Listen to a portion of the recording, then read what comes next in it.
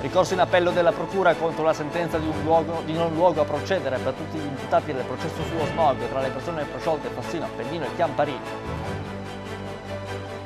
La Regione Piemonte ha presentato un nuovo piano di edilizia sanitaria, 4 miliardi e mezzo di euro per la realizzazione di 11 nuovi ospedali, 91 case di comunità e 30 ospedali di comunità.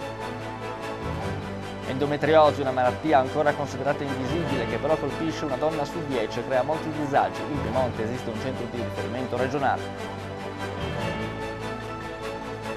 Dopo la vittoria sulla Lazio, domani la Juve in, in, campo per la sfida di Champions League contro i tedeschi dello Stoccarda. Terza sconfitta consecutiva per il Toro che Cagliari perde per 3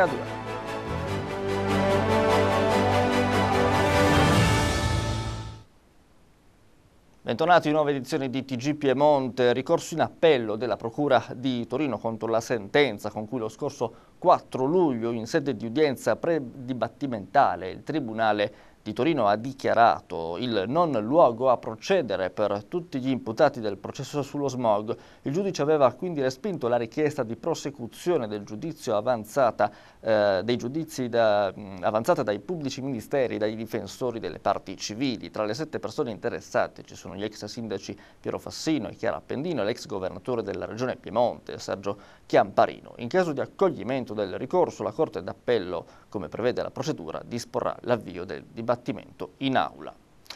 Durante un posto di controllo per un'attività antidroga, la Guardia di Finanza di Novi Ligure, siamo nell'Alessandrino, ha scoperto nascosti nella portiera di un'auto con a bordo due persone circa 50 grammi di hashish. Le perquisizioni personali hanno portato inoltre al ritrovamento di quattro banconote da 20 euro risultate false. Nell'abitazione di uno dei due uomini sono stati sequestrati ulteriori 250 grammi di hashish e 5,5 di cocaina, oltre a due bilancini di precisione. L'uomo è stato arrestato per detenzione e traffico di sostanze stupefacenti, una denuncia invece per l'amico per violazione delle norme in materia di sostanze stupefacenti e per possesso di banconote false.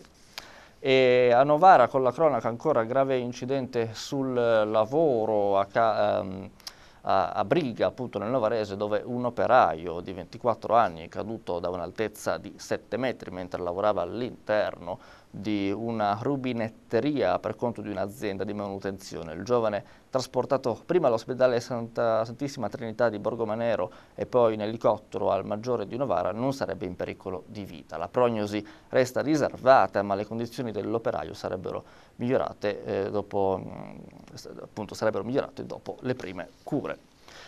Eh, voltiamo completamente pagina. La Regione Piemonte ha presentato un nuovo piano di edilizia sanitaria che prevede l'utilizzo di 4 miliardi e mezzo di euro per la realizzazione di 11 nuovi ospedali, 91 case di comunità e 30 ospedali di comunità, oltre a 43 centrali operative territoriali. Sentiamo. 4,5 miliardi di euro per l'edilizia sanitaria in Piemonte. Questo il nuovo piano presentato dalla Regione con l'aggiornamento relativo all'incremento delle risorse INAIL che consentono di realizzare con fondi pubblici anche gli ospedali di Cuneo e Alessandria. Si parla di 11 nuovi ospedali, 4 rigenerazioni e ampliamenti, 91 case di comunità e 30 ospedali di comunità, oltre a 43 centrali operative territoriali.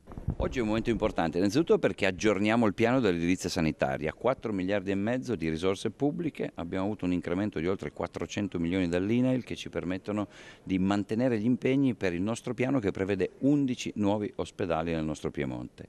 Tutte le realtà sono già localizzate completamente finanziate, ci sono già le gare in corso della progettazione e in alcuni casi già le progettazioni in corso.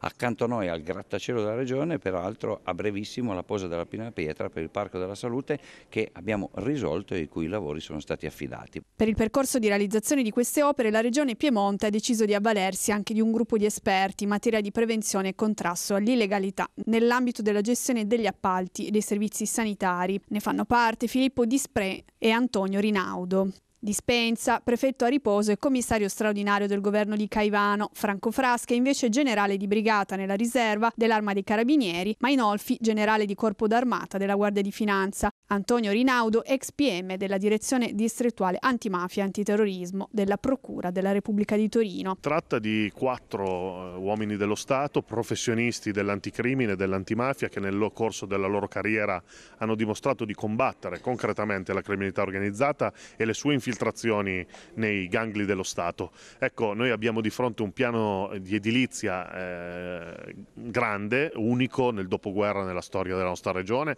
4,5 miliardi di euro sono una cifra importante che può attirare qui organizzazioni criminali. Nelle ultime ore è scoppiata una polemica accesa dal consigliere regionale del PD Daniele Valle riguardo alla presenza di uno dei componenti Mainolfi nel gruppo per il ruolo assunto dal generale in un'azienda privata. L'azienda aveva ricevuto un'interdittiva antimafia poi sospesa dal TAR. La conclusione di Valle si traduce in una domanda. Chi controlla i controllori? Politicamente chiediamo se serva davvero una nuova sovrastruttura e perché. Arrivata prontamente la risposta di Mainolfi, la dichiarazione risulta strumentale ed infondata perché tende a stigmatizzare la mia condotta. Sullo stesso piano la Regione. Vogliono infangare chi presta la propria opera, ha riferito l'assessore Riboldi, per costituire uno scudo interno a difesa della legalità. Vergognoso.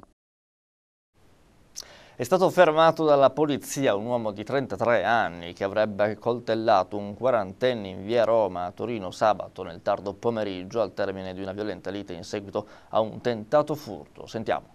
È stato fermato dagli agenti di polizia l'uomo di origine nordafricane che sabato nel tardo pomeriggio avrebbe accoltellato un uomo di 40 anni dell'Est Europa in via Roma in pieno centro a Torino nella zona dei Giardini Sambui dopo aver tentato di strappargli una collanina d'oro. L'allarme è scattato quando i passanti hanno visto due uomini litigare furiosamente. Dalle parole si è passati ben presto ai fatti e il 33enne dopo aver tentato il furto ha tirato fuori un coltello. All'origine del gesto dunque una tentata rapina sullo sfondo il via vai dei passanti per lo shopping del sabato sotto i portici di quello che viene definito il salotto buono di Torino. Sul posto dopo l'accaduto si sono precipitate subito le volanti della polizia mentre gli agenti della polizia municipale hanno chiuso al traffico l'ultimo tratto di via Roma. L'uomo accoltellato è stato soccorso dai sanitari del 118. La ferita rimediata alla gamba non è grave e non si trova in pericolo di vita. Attualmente si trova ricoverato in ospedale con una prognosi di 10 giorni. La zona tra i giardini Sambui e Porta Nuova è spesso teatro di scippi, risse e degrado, come lamentano alcuni residenti e negozianti della zona che auspicano un controllo maggiore da parte delle forze dell'ordine. Una bimba di sette mesi è stata salvata grazie a un trapianto parziale di fegato. L'operazione è durata 12 ore è stata effettuata all'ospedale Molinette di Torino. Una bimba di sette mesi è stata salvata all'ospedale Molinette della città della salute di Torino con un trapianto della parte sinistra del fegato di un donatore pediatrico e l'autotrapianto di vena giugulare destra per ricostruire la vena porta. Nata a febbraio di quest'anno con una rara malformazione delle vie biliari, la bimba era stata sottoposta a giugno a un primo intervento chirurgico riparativo nella chirurgia pediatrica dell'ospedale infantile Regina Margherita. Era rimasto però un quadro di ittero con progressiva compromissione della funzione epatica. Messa in lista d'attesa per il trapianto di fegato a luglio, la piccola a settembre era stata ricoverata ma il trapianto era diventato urgente, dal momento che l'insufficienza epatica non lasciava più speranza di sopravvivenza a breve termine. Nelle scorse settimane dal Veneto era arrivata la disponibilità di un fegato di cui è stata utilizzata la parte più piccola, la sinistra. Il trapianto è durato 12 ore ed è stato eseguito da professor Renato Romagnoli, direttore del Dipartimento Trapianti e del programma Trapianto Fegato Adulto e Pediatrico della città della salute di Torino con la sua equipe. L'intervento si è rivelato tecnicamente molto complesso a causa del severo restringimento della vena porta della piccola. È stato quindi necessario sostituire completamente il tronco della vena porta, reperendo la vena giugulare destra della bimba stessa, con un vero e proprio autotrapianto. Il decorso post-operatorio è stato regolare, la ripresa funzionale del fegato trapiantato è stata ottimale e le condizioni generali della bimba sono migliorate in modo rapido, al punto che a sole tre settimane da trapianto la piccola ha fatto rientro a casa e sta bene. Cordoglio sui social da parte di amici e conoscenti di Giulia Manfrini, la surfista di 36 anni di Venaria, morta nell'Oceano Indiano mentre faceva surf. Le autorità locali dell'Indonesia stanno lavorando per il rientro della salma in Italia. Tra quelle onde che erano la sua vita, Giulia ha trovato la morte. Questo è il momento del dolore di tutti quelli che Giulia Manfrini, surfista di 36 anni, originaria di Venaria Reale, la conoscevano bene. La donna è morta a causa di un tragico incidente provocato dall'attacco di un marlin mentre si allenava nelle acque dell'Oceano Indiano in Indonesia, nell'isola di Pulau Masukuttu, una ferita lunga circa 5 cm che non le ha lasciato scampo. Eppure tra quelle acque Giulia aveva trovato casa, perché per lei il mare era diventato un porto sicuro, lei che amava lo sport sport, praticava surf da anni, aveva anche fondato un'agenzia di viaggi che organizzava gite e vacanze sportive e grazie ai social era diventata un influencer nota alla comunità dei surfisti italiani. Sull'accaduto le autorità locali stanno cercando di fare chiarezza e stanno anche lavorando per il rientro in Italia della salma. In un primo momento avevano parlato di un pesce spada, inaspettatamente lei è saltato addosso e l'ha colpita in pieno petto. Aveva precisato il responsabile della gestione dei disastri delle isole Mentavoai. Purtroppo non c'è stato nulla da fare. L'avvocato di Giorgio Manfrini, il padre di Giulia, ha invece raccontato agli amici più stretti di aver saputo che sarebbe stato un marlin, un esemplare con piccole scaglie e denti e la pinna dorsale molto lunga, che ha colpito Giulia all'altezza del costato sinistro, causandole una ferita mortale. Non è chiaro se Giulia fosse a cavalcioni della tavola, in piedi o vicino alla barca, di sicuro i primi a soccorrerla sono stati gli amici e compagni di surf che l'hanno riportata a riva prima del trasporto nel centro sanitario del luogo, dove però non è stato possibile salvarla. Erano tante le persone che Giulia aveva conosciuto in giro per il mondo che condividevano la sua passione, quella per la vita prima di tutto e per lo sport. Era cresciuta a Venaria, si era laureata in giurisprudenza a Torino, da piccola aveva provato la neve, prima gli sci poi lo snowboard, con cui aveva anche partecipato alle universiadi invernali, ma poi era stato il mare a rapirla totalmente. Da qualche tempo aveva deciso di trasferirsi in Portogallo, dove il surf è per molti pane quotidiano. La reggenza dell'isola Mentawai, dove si è verificato l'incidente, è una destinazione turistica internazionale di particolare interesse, specie per gli appassionati del surf da onda e considerata dai turisti il posto migliore per cacciare onde dopo le Hawaii. Tutta la comunità venarese, dice il sindaco Fabio Giulivi, si stringe alla famiglia di Giulia. La sua morte ci ha lasciati sconvolti, ci fa sentire impotenti davanti alla tragedia che l'ha strappata la vita così prematuramente. Un dolore incredulo che arriva fino all'altra parte del mondo, dove gli amici che l'hanno soccorsa la ricordano sui social in queste ore postando le ultime foto con lei, un ultimo selfie scattato tutti insieme su un'imbarcazione. L'ultimo tramonto potrebbe essere essere migliore di questo. Ciao Giù. Tutta l'Italia, da nord a sud, è stata travolta dall'ondata di maltempo che ha paralizzato anche la Sicilia, colpita da mesi da una pesante siccità. Esondazioni di fiumi e torrenti, in particolare in Emilia-Romagna, in allerta arancione da ore. Bologna, la città più colpita. La forte ondata di maltempo ha impegnato molti vigili del fuoco, operatori della protezione civile e forze di polizia dal Piemonte. È un aiuto alle popolazioni che ha raggiunto anche una famiglia con un bimbo di tre mesi recuperata con l'elicottero di vigili del fuoco. Il maltempo aveva isolato la loro abitazione a Monterenzio.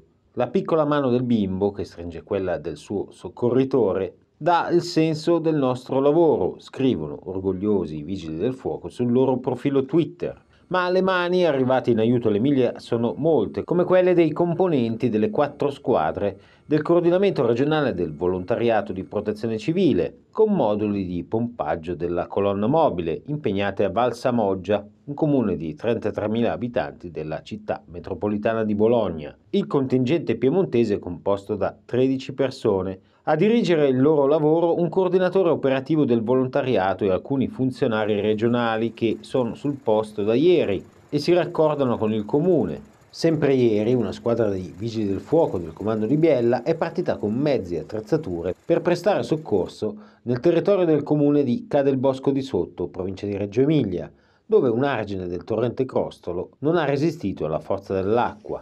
515 sono stati in totale gli interventi dei soccorsi dei vigili del fuoco e di questi 190 nella sola provincia di Bologna, 86 le unità giunte da fuori regione e tra queste quelle piemontesi, 3 i posti di comando allestiti per la gestione delle numerose richieste di intervento in Val di Zena, Molinella e Reggio Emilia, aiuto e volontari da tutta Italia per l'Emilia e le sue popolazioni, che nelle ultime ore ha contato anche la perdita di una giovane vita nell'alluvione di Pianoro, dove è morto un ragazzo di 20 anni, Simone Farinelli. 3.000 le persone che sono state evacuate. Adesso ci occupiamo dell'endometriosi, una malattia purtroppo ancora considerata invisibile che però colpisce una donna su dieci e crea molti disagi e problematiche. In Piemonte esiste un centro di riferimento regionale, ne abbiamo parlato con il presidente della Fondazione Medicina a misura di donna. Sentiamo. Ci sono malattie che purtroppo restano quasi invisibili, meno conosciute di altre, non se ne parla o esiste ancora lo stigma nel parlarne. Una di queste, una disabilità invisibile della donna, è l'endometriosi, una patologia che comporta la crescita di un tessuto simile al rivestimento interno dell'utero anche al di fuori di quest'ultimo. È una malattia invisibile ma che può rappresentare per le donne un disagio, una difficoltà quotidiana, personale, fisica e psicologica molto significativa ed è soprattutto una malattia cronica e invalidante. Il 28 marzo marzo ricorre la giornata mondiale dell'endometriosi, istituita nel 2014 per porre l'attenzione su questa malattia. Nel mondo sono circa 190 milioni le donne e le adolescenti colpite da endometriosi durante l'età riproduttiva, anche se alcune possono soffrirne oltre la menopausa. In Italia sono affette da endometriosi il 10-15% delle donne fertili. La patologia interessa circa il 30-50% delle donne con difficoltà a concepire. Le diagnosi conclamate sono almeno 3 milioni, il picco si verifica tra i 25 e i 35 anni. Può causare dolore pelvico, comportare infertilità, disturbi del sonno, difficoltà nelle relazioni interpersonali e può interferire nelle attività lavorative. In Piemonte esiste un centro di riferimento regionale per l'endometriosi dell'ospedale Sant'Anna di Torino. Il centro dal 2018 ha attivato un percorso diagnostico terapeutico assistenziale aziendale dedicato alla patologia, successivamente elaborato ed integrato nell'attuale percorso di salute diagnostico terapeutico assistenziale della regione Piemonte. L'endometriosi ha un'influenza eh, importante proprio sulla qualità di vita, sui rapporti interpersonali, i rapporti col partner, può influenzare anche la fertilità, per cui è importantissimo fare tutto quello che è possibile per poterla diagnosticare e, e in qualche modo eh, curare e prevenire nei limiti del possibile per quanto riguarda la progressione della malattia di quali possono essere i sintomi? Il sintomo di solito è il dolore, dolore al basso ventre, quindi nella pelvi e di solito eh, soprattutto all'inizio avviene in corrispondenza del flusso mestruale e quindi eh, se un dolore è troppo eh, spiccato deve essere un campanello d'allarme, non deve essere sottovalutato. Talvolta invece eh, l'endometriosi viene scoperta casualmente perché si ha difficoltà a eh, intraprendere una gravidanza, a rimanere fertile, quindi è una, diciamo, eh, una diagnosi casuale. Eh, questi però sono diciamo, delle eccezioni, eh, spesso è il dolore che eh, rappresenta il sintomo principale. Voltiamo completamente pagina. Dalla 10 novembre per un mese l'acqua è protagonista a Torino. Il CAP 1000 presenta l'1% l'essenza dell'acqua, un programma di iniziative per sensibilizzare verso un uso responsabile delle risorse idriche e alla loro importanza per la vita del pianeta. Il 71% della superficie terrestre è ricoperto d'acqua, di questa soltanto l'1% è accessibile per uso umano, da qui nasce l'iniziativa promossa e ospitata da Cap 1000 l'1% l'essenza dell'acqua. È un evento immersivo, interattivo e multisensoriale a Torino. L'obiettivo dal 10 novembre per un mese è coinvolgere il pubblico attorno al tema dell'acqua e alla sua centralità nelle sfide future. Questo è un progetto che indaga, inizia a indagare dalla vita del fiume attraverso alcune fotografie degli archivi storici, ma indaga anche l'alluvione con la mostra patrocinata dalla città metropolitana eh, e da Triciclo, una delle associazioni che collabora con noi sull'alluvione del 2016 eh, e quindi poi continuiamo eh, questo percorso incontrando delle start-up, incontrando chi ci sostiene come SMAT che eh, ci porterà la sua testimonianza, incontrando dei racconti di Earth Film Festival, Associazione Tecne che ha fatto delle video interviste tra la Valle d'Aosta e la Liguria rispetto a proprio a come è cambiato il rapporto con l'acqua. Ospiterete un'installazione, cosa prometterà di fare? Eh, si entrerà eh, attraverso le nostre due scalinate e si vedrà un una esposizione fotografica, che è la cosa più semplice che c'è. All'interno del foyer ci saranno dei giochi eh, su tablet che potranno eh, misurare la vostra water footprint o anche la carbon footprint e ospiteremo qui delle start-up eh, varie che stanno sperimentando vari modi per risparmiare, utilizzare e ottimizzare le risorse idriche. Questa sera con Non vedo l'ora vi portiamo a Cantoira, vi racconteremo l'antica battaglia delle regine. Ne scopriamo di più in questo servizio, vi ricordiamo l'appuntamento sempre alle 20.30, sempre sul canale 15. La tradizione agricola di Cantoira che raccontiamo anche con le sue tradizioni. Allora, vice segretario dell'associazione? Yamis Le Reine de Waldlands è l'associazione che praticamente cura questa battaglia delle rene. Le rene sarebbero delle mucche che vengono chiamate così. Sono animali docili che però hanno un po' la tendenza quando si trovano due di loro una deve primeggiare, c'è poco da fare, specialmente qua diciamo che c'è ancora eh, l'usanza di andare sugli alpeggi e portarli al pascolo una deve primeggiare, lei che, che, che, comanda, che comanda il gruppo. Sono manifestazioni che ci sono su tutto l'arco alpino e c'è per esempio a Aosta dove si è arrivati alla 67esima edizione, in Svizzera che si è passato i 100 anni e poi c'è anche a Chamonix in Francia. E noi c'è qui a, qui a Cantovere, poi c'è ancora in Piemonte a Tavagnasco che è la prima domenica di novembre. Per ora è tutto e dopo la sigla c'è lo sport.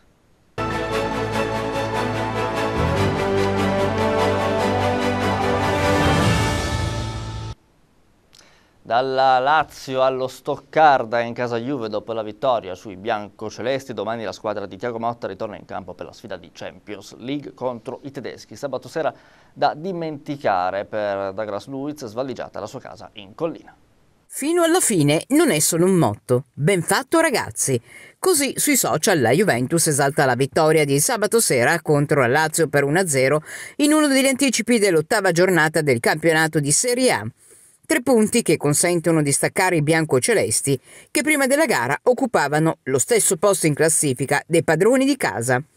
A metà del primo tempo l'espulsione di Romagnoli e Lazio in 10. A favore dei bianconeri decisivo l'autogol di Gila all'85. La Juventus ha dunque vinto per un errore laziale dopo 70 minuti di superiorità numerica. E da qui cominciano le considerazioni. Una vittoria sicuramente importante, anche se ottenuta negli ultimi minuti e con fatica per arrivare a rete. Tra le note positive, il soddisfacente esordio di Azic. Tre punti preziosi centrati tra le mura amiche dopo tre pareggi consecutivi allo stadium in campionato. Serata invece da dimenticare per Douglas Lewis e la sua compagna, l'attaccante delle Women, Alicia Lehman. Mentre era in corso la partita, è stata infatti svaligiata la loro villa in strada Valsalice, nella prima collina torinese. Il furto è stato scoperto dal calciatore al rientro da Juve Lazio quando ha trovato la casa completamente a soqquadro. Sul posto intorno a Luna è intervenuta la polizia con la scientifica per effettuare i rilievi. A quanto si apprende sarebbero stati rubati oltre una decina di orologi del calciatore e alcuni gioielli della compagna, anche lei impegnata nel ritiro della Juventus Women. Il valore degli oggetti rubati insieme a denaro in contante si aggira intorno al mezzo milione di euro. Fortunatamente nessuno dei due si trovava all'interno dell'abitazione. Si tratta dell'ultimo di una serie di furti che hanno coinvolto alcuni giocatori residenti nella zona collinare da Moise Keane a Caio Jorge e Angel Di Maria. L'argentino si trovava invece in casa ed è riuscito a dare l'allarme insieme all'allora vicino Dusan Vlaovic. Tornando al calcio giocato, oggi è già giornata di vigilia in casa Juve. Domani infatti i bianconeri scenderanno nuovamente in campo all'Allianz Stadium per affrontare lo Stoccarda in Champions League. Arbitra il norvegese Eskas, fischio d'inizio alle ore 21. Terza sconfitta consecutiva per il Toro, se ne parlerà stasera a Orgoglio Granata dalle 21 e si parlerà anche della vittoria della Primavera Granata nel derby. Ancora una sconfitta, la terza consecutiva, quarta se si considera anche l'eliminazione dalla Coppa Italia. Il Toro dalle stelle alle stalle in un mese, con la maledizione della sconfitta, ancora una volta per 3-2, con 9 gol subiti in tre partite. Mister Paolo Vanoli a fine gara ha spiegato, senza uno come Zapata, le cose cambiano. Sanabria e C. Adams hanno fatto molto bene, Vlasic pure, ma possiamo migliorare. Ma questi ragazzi hanno fatto una grande prestazione, ha detto, devono magari capire che i dettagli fanno la differenza. Nel primo tempo Sanabria Calabria risponde subito a Viola, a ribaltarla con un gran tiro è il neo capitano Linetti. In vantaggio per 2-1 i Granata, invece di addormentare la partita, si addormentano e pagano a caro prezzo i 4 minuti in cui i sardi trovano il pareggio con Palomino e la ribaltano sul 3-2 con l'autorete di Coco. Negli ultimi minuti l'occasione più bella per pareggiare per i Granata è quella di C. Adams, ma Scuffet vola e salva il risultato. Problema del Toro è evidente, si chiama difesa o fase difensiva. Ci sono stati degli errori, ha detto e proseguito Vanoli,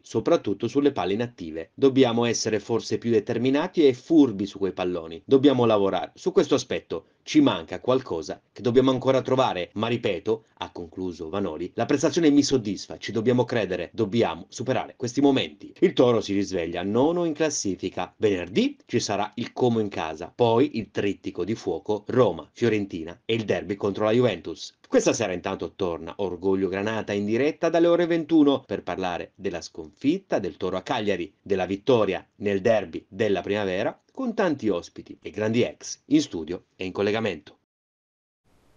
È tutto, ora la linea va al meteo. Nella seconda parte del telegiornale avremo ospite in studio Gianni Mannori, Fiamma CGL Mirafiori per parlare dello shot però generale automotive. Restate con noi.